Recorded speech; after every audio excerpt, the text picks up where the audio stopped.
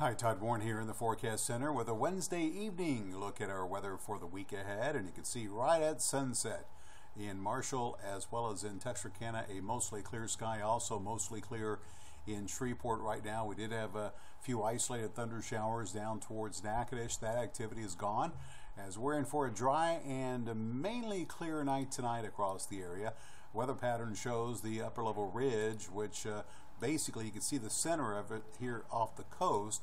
It does extend back into the lower Mississippi Valley, and uh, again, this ridge is uh, working to limit the rainfall, but it's going to be weakening here in the next couple of days as we'll see the slight chance for the stray shower or thunderstorm return Friday.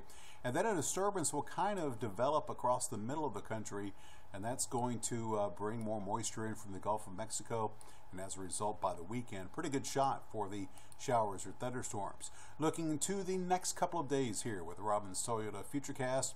Uh, before I show you the forecast, so let me go ahead and show you uh, again Futurecast. You can see that uh, we are looking at a mostly clear sky across the area. A few low clouds will be possible late tonight, tomorrow morning. Tomorrow we'll see the mix of clouds and sunshine. Futurecast kind of hinting at a spotty shower, a possibility, but 10% or less as far as any rain at any particular location. We'll see the mostly clear sky tomorrow night, and then Friday a little bit more coverage on those spotty showers, so maybe 20% for your rainfall chances for Friday, and we will see those chances go up. Uh, this weekend. Now, the reason why I mentioned that disturbance developing, let me take the upper level pattern here and advance it forward, and you can see the disturbance beginning to take shape here.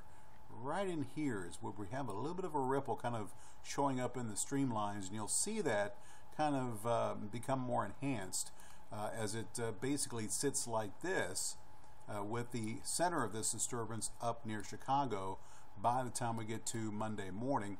And we will see as this continues to develop the increasing chance for some rain. Uh, we will see this continue until probably the end of the week through uh, Tuesday, especially a decent shot for the rain. And then we will see uh, again uh, things kind of quiet down some late next week. Now, as far as rainfall potential, does look like models have kind of uh, increased the projections here over the course of the next few days, uh, next 10 days. It's looking more promising that more of us will have a chance of seeing a good inch. But generally speaking, a half an inch to an inch would be a reasonable expectation, but there could be spots that pick up anywhere from one to two inches of rainfall. As far as your latest on Fred, the advisory this evening shows that Fred is now a depression since the center is moving over uh, the landmass of Hispaniola. Uh, we are going to see it continue to move towards the west-northwest. You can see it moving in, in, that direction right now.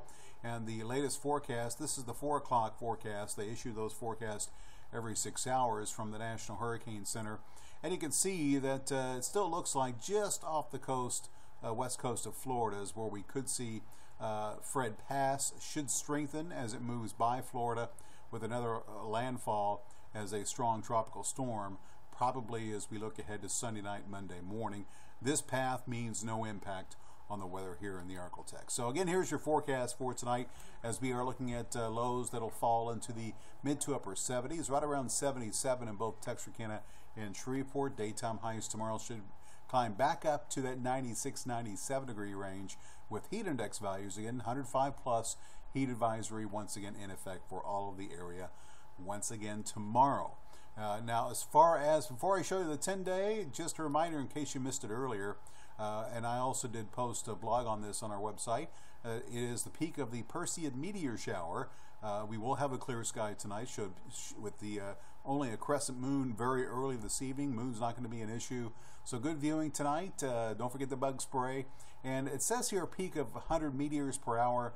That's probably a stretch, if you're in a you know out in the country 30 40 per hour maybe if you're in the city the number you won't see as many because of the light pollution so again the peak of what is some consider the best meteor shower of the year uh, is tonight meantime looking at uh, your 10-day forecast. You can see that we will see temperatures cool off with the rain increasing by the end of the weekend. We'll see highs in the low 90s Lows will probably stay in the low to middle 70s for uh, the vast majority of the region as we head towards the last half of next week.